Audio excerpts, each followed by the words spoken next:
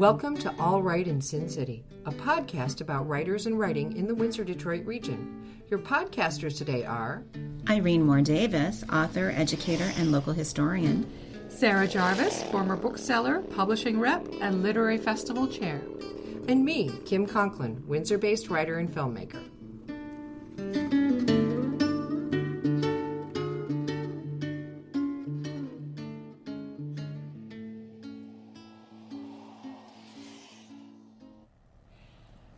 Recording takes place in Greater Detroit.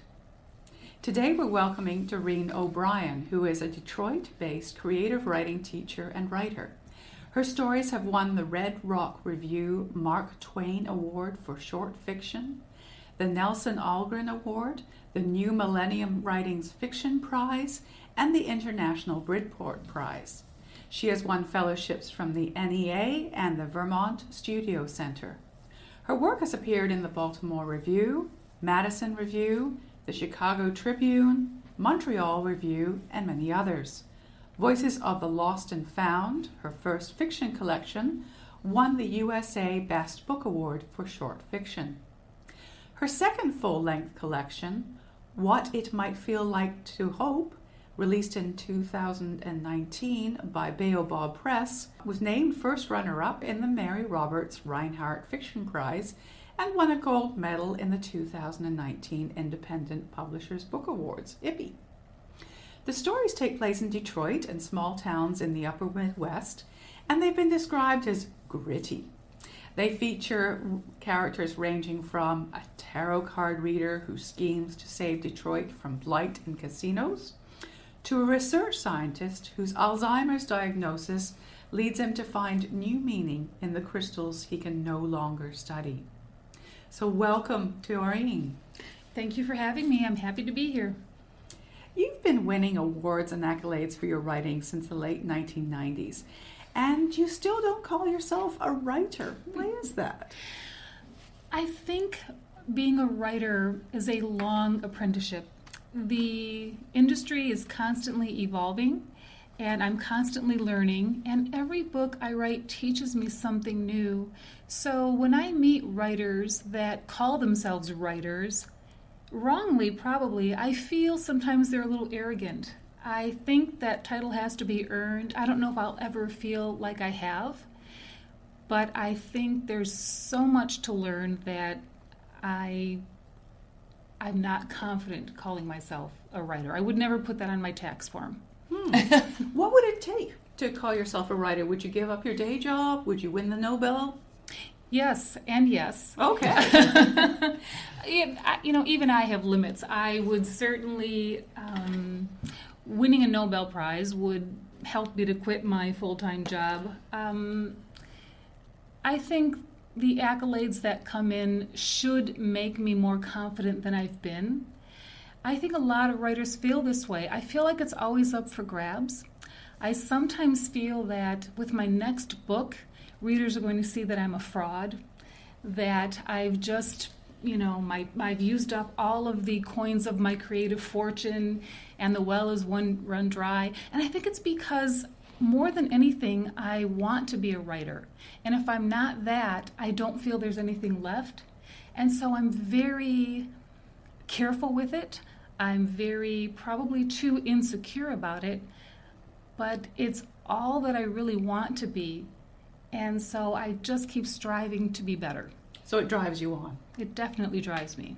It's the combination between imposter syndrome and meaning. Yeah, so Absolutely. Yeah. And I think for me, the best writers and the writerly friends I have, we have these conversations and they all feel the same way. I don't know if they'll admit it, but I think most of us feel like we had a certain amount of talent, we've used it up in these books. Will we be able to sustain that? Will we be able to write another good book?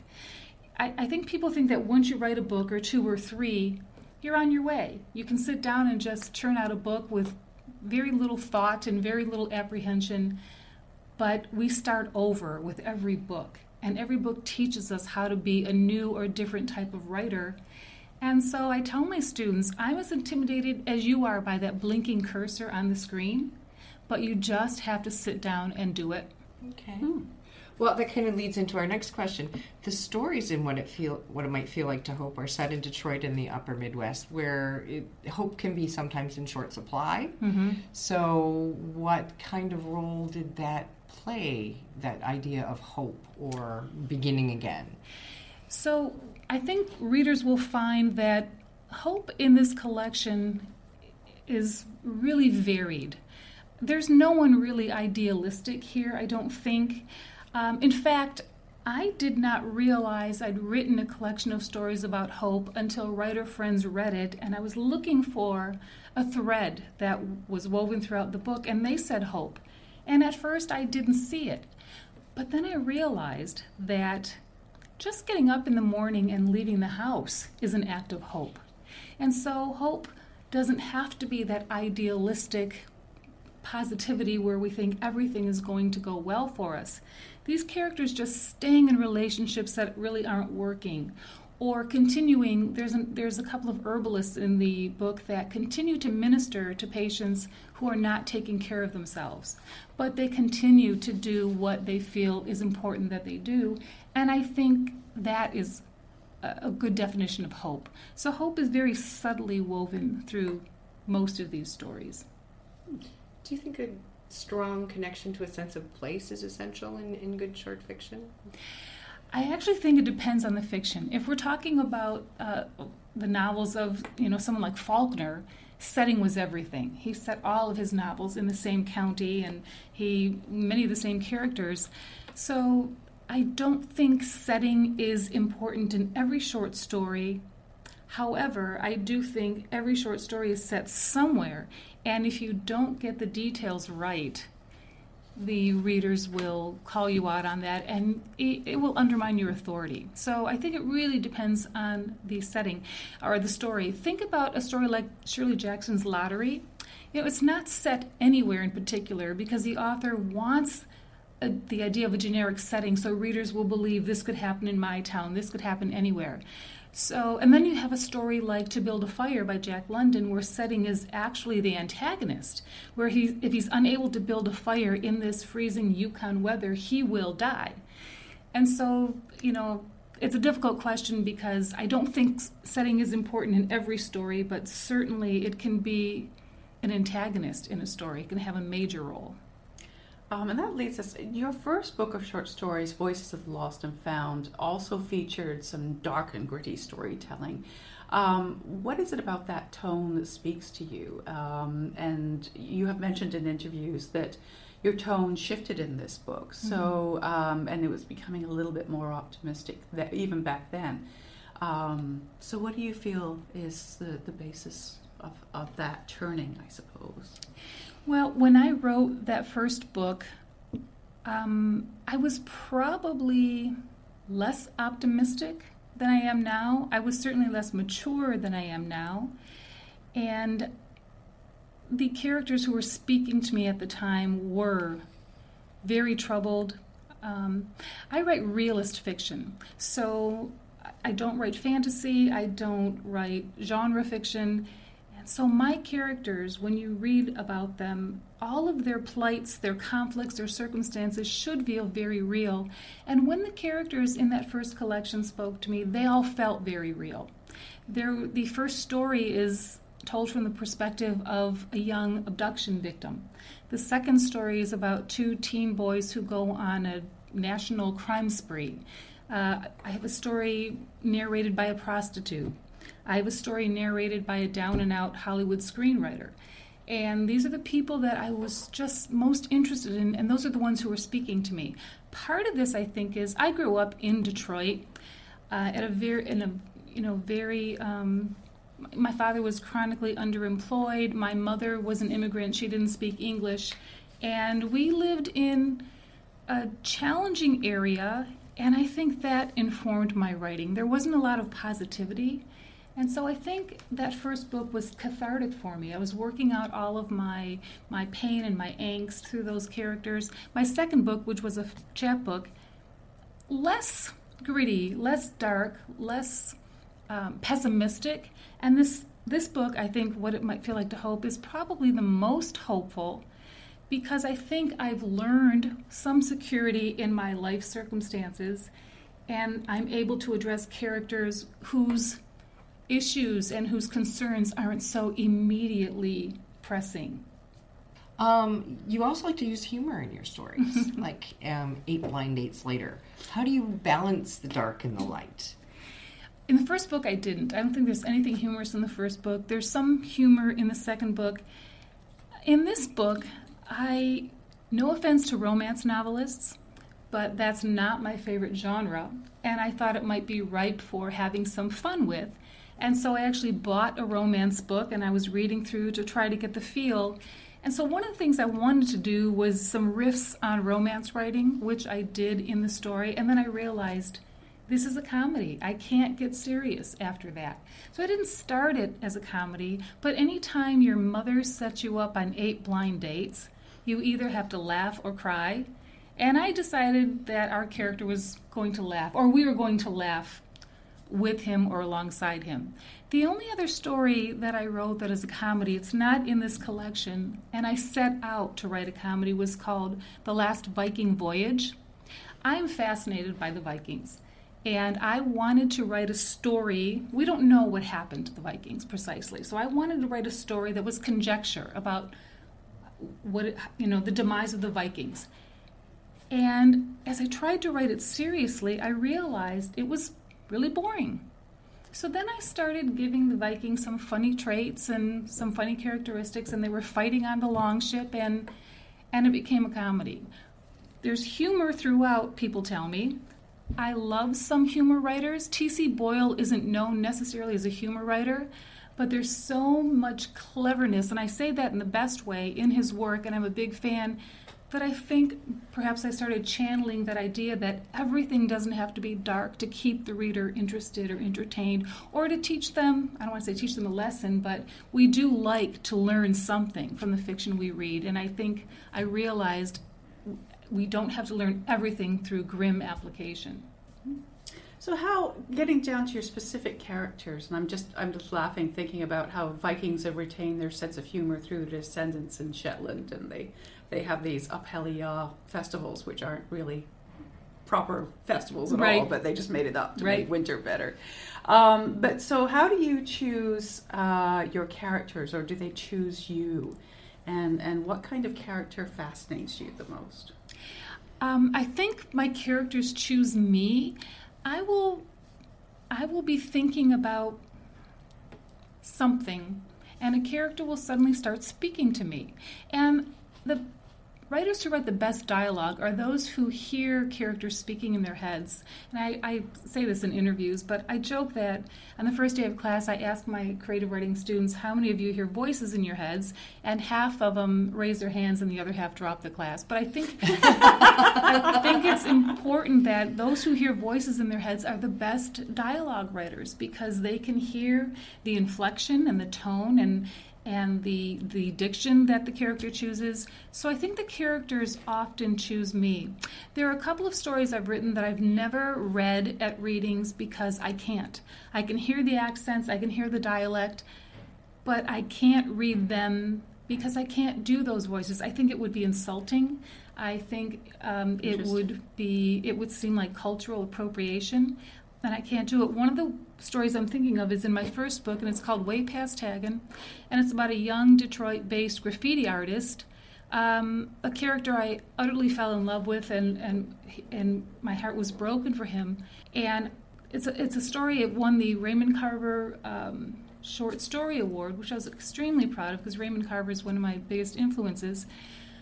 But I'm sad that I can never read that story because I would look utterly foolish and I would be utterly insulting. Unless you had a dramatic reading done or something like that. No. Not even? Not No? even. Interesting. Now, and in this collection, there's a story about three bricklayers, and they are, you know, they're not largely educated, but that doesn't mean they're not smart. And I can't really do their voices either, but I can hear their voices. So I'm most interested in characters who are down on their luck, who are blue collar. Um, a friend of mine once said, you know, people who write literary fiction, and mine would be called literary fiction are typically concerned with upper middle class characters. Think of John Updike and and I and I'm not, and I think it's because of where I grew up and the people I grew up with. Um, and a watershed moment for me was when I was 21 years old. I got a job working midnights at the post office. Prior to that, I grew up in Detroit, but in Hamtramck, which was very it was very Polish. You went to the Polish Catholic school. That's what you did. And when I started at the post office, I met people from different cultures, different ethnicities, and it w- it broke my mind open because I grew up in a rather racist household, and I d- was never exposed to people from other cultures. And I made friends with so many people, and I got to know so many people, and I think that's really what triggered my interest in people so different than I am, but I have no interest in, in wealthy people. Mm-hmm. They, they don't have problems. Fiction writers are interested in characters who have problems. We need conflict for good fiction. Mm-hmm. And well, and you know M.L. Liebler, and he talks a lot about this area's fiction and poetry, and that it has that sort of voice. Do you do you find that yourself when you hang out with other writers here? That there is a particular blue collar or um, different kind of voice that's more popular here? Definitely, uh, and I, I, I, I assume I can't speak for other writers that it's because of our location, where we, where we grew up, and, and our aesthetic. Um, but that's definitely we're the Motor City. You know, we're gritty. We the auto industry. There's a lot of writers that write about the auto industry. There's a lot of local writers who write about the local culture, and I think it's unavoidable. A story like Way Past Tagging, or in this book, there's a story called Honesty Above All Else, set in Corktown. I don't think I could have written those two stories if I didn't live in Detroit. Detroit utterly informs those stories. Okay. So short stories can be a bit of a tough sell in the publishing world these days. Why why do they, they choose you as a form to work in? Um, why do the stories choose me? Or mm-hmm. why do you format? choose the stories? why yeah. do I choose? Yeah. I, yeah, I thought, well, that's that I couldn't answer. Uh, you know, I I'm a short story writer. Um, I want to be a novelist because the market demands it, but I love writing short stories. Part of it, I think, is because when you finish a, a, story, even if it's a first draft, there's this sense of completion. And I'm elated, it's done. I can go back and, and revise, I can tinker, but it's done. A novel is a very, very, very long swim. I'd rather swim across the pool than the English Channel. Mm. Um, but I am working on my second novel. My first novel stalled because I think I just wasn't yet smart enough to write that novel or ready ready enough as a novelist. Um, but short stories, I just feel like I understand what to include and what to leave out. Short stories, because they are an exercise in brevity, require you to they're all mystery stories. You must plant the right seed so that the reader colludes with you to make meaning, and so that the emptiness, the white lines, are just as charged as the text on the page. And I love that challenge. I love writing that line. A novel is such a different animal. There, there's space for digressions. There's you know, you can have casts of thousands. These are things you can't do in short stories. So I like that challenge. But I think I have um, I think I've met that challenge in many of my stories, and I am ready to turn my attention to my novel. I have finished uh, a first draft. I'm going through my second draft now. So we'll see if it goes as well as the stories have. But you're absolutely right in that the market, for some reason, does not privilege short stories. And I, I think it's because the publishing industry is so accustomed to marketing and selling novels that it's hard for them to change their business model. But when you think about the limited, not the limited attention span of people, but all of the things calling to their attention now, we have this technology we never had before. We have tweets. There are stories that are called Twitter fic, where they're limited characters. This people love these things. Microfiction is big right now it doesn't make sense to me that short story collections have not ridden the wave of all this other of these other short forms that are so popular now. Hmm. And and you talked about the fact that you like organizing plots, well, which would help in any kind of genre of fiction that you're, you're writing. And so a lot of writers find this a struggle. What what is it about you know the plotting that appeals to you? You mentioned that every story is a mystery, and, and that's certainly true in many ways. Um, well, I like the challenge, and I say that when you first write a story, the creative person in you gets to play. And after that story is the first draft is completed, then the scientist in you gets to play, or the architect in you gets to play. And I think it's fun to move things around. Um, how, what will best serve the story? Is this opening as compelling as maybe the third paragraph on the second page? And of course, once you move these important elements and these blocks around in your story, it's a domino effect. You have to see where that thread is picked up and and that is very challenging. It challenges the other part of my brain. So, you know, one is the right part of the brain, one is the left part of the brain. And I think that they're both enjoyable, but you have to. Um, you have to really get the creative part down before you start moving those blocks around. Hmm. Are you a sticky notes on the wall kind of person? I am. Good. yeah. I am. Uh, I if I could be, and I, I'm not going to do this, but I would be that person that had 300 pages laid out on the dining room floor. Oh, that sounds like heaven, doesn't it? Yes.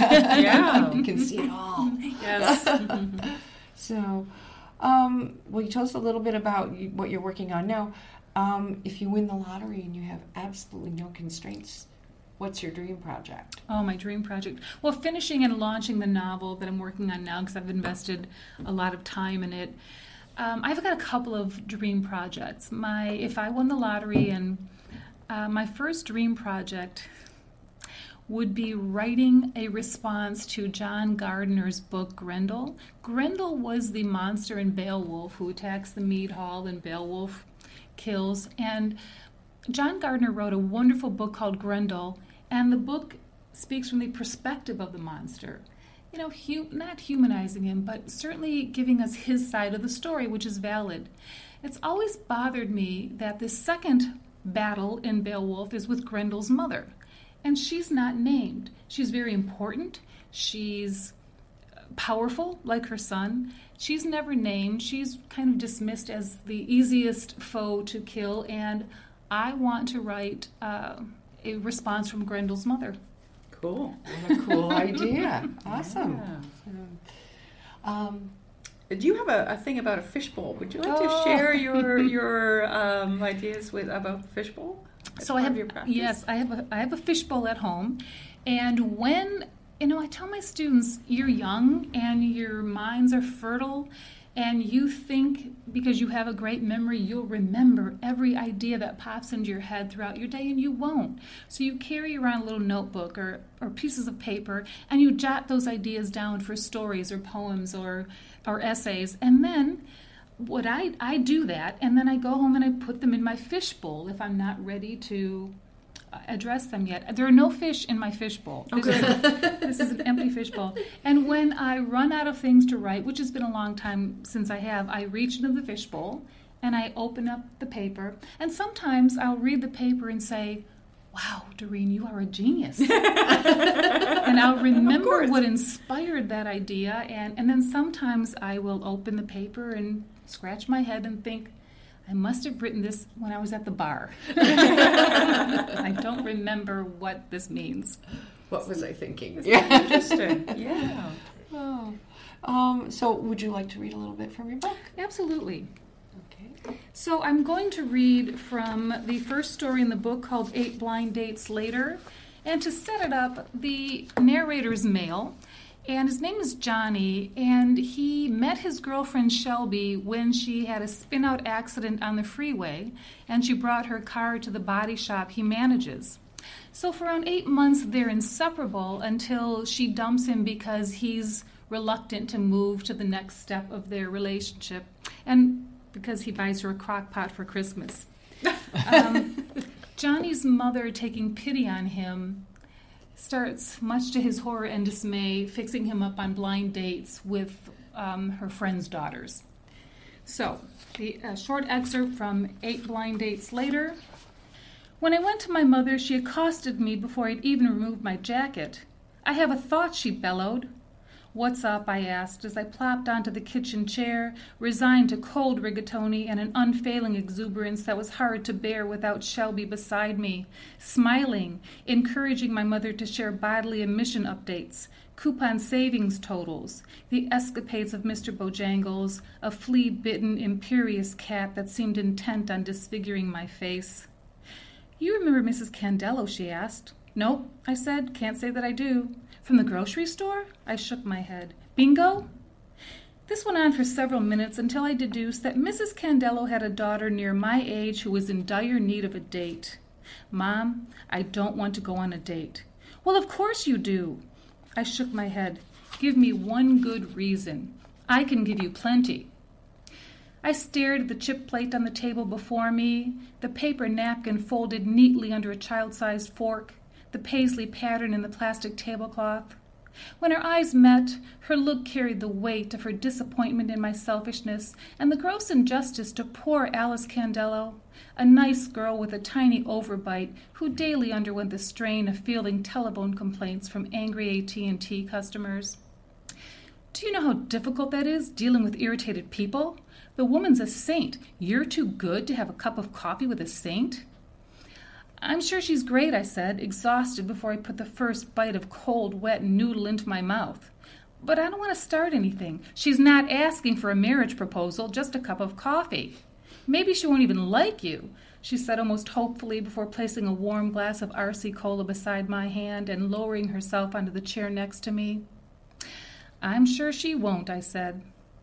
Oh, Johnny, you've been so negative since. Since what? Since you and Shelby broke up. I sat across the table from Alice Candello at Finn, dark wood, musty smell, overpriced seafood, and learned that she is indeed stressed, as evidenced by the stains under the arms of her satin blouse and the speed with which she downed a $42 bottle of Merlot. She did not stop talking about implacable customers, her obstinate cockatiel, traffic on I 84, where I could not prevent the thought Shelby had once spun her car like a carnival ride. The handcuff sized bangles on her wrist clanked each time she lifted her glass or waved to the waiter to ask for more bread, to request a less tart salad dressing, to demand he open a window as she fanned herself with a cocktail menu. After her fourth glass of wine, she'd thrown off any pretense of being on a first date, openly flirting while grinding what felt like a size 18 gumboot up and down my left shin and engaging in a strange dialect of drunken baby talk. I'm not an easily embarrassed man, but she was making a Herculean effort, even if unconsciously. By the time the main course arrived, I was mentally rehearsing what I would say to my crestfallen mother. I'm being transferred to Parma. I'm allergic to birds. I'm gay. But the utter failure of my date with Alice Candello did not deter my perpetually upbeat mother, who apparently had a slew of friends with desperate, defective daughters. I tried to overlook Sheila Kravis's eye tic, the force with which her man hands clutched the fork and knife, sawing like a primate into the bloody steak on her plate. Recently divorced Luann Plug spent the evening chatting about the myriad ways she'd like her ex to suffer stoning, overpass collapse, shark attack. Stacy Kaminsky barely spoke, instead giggling like a mental patient, and Renee Dubois anxiously glanced around the restaurant like a witness protection inductee on her first outing before admitting that her former boyfriend was a stalker, but really, she said, that didn't stop him from loving her. After five dates, I told my mother I was done, but she persisted in battling my resolve, determined to whittle her list of prospective daughters in law to zero. When she engaged her fake limp, clutched Mr. Bojangles to her bosom, and claimed that she was not long for this world, I acquiesced. While Mona Lambers rambled on about cross stitch patterns, I wondered if Shelby would ever take me back. When Lorene Womack ran to the restroom for the fifth time, bladder infection? Coke addiction?